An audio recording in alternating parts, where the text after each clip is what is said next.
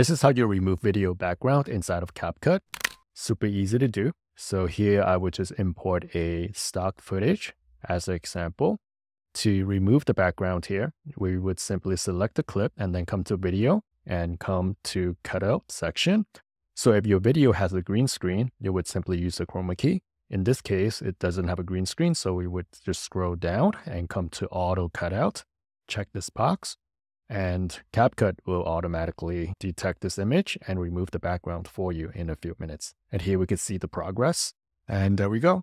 And now you can resize this any way you like, and the video background is removed.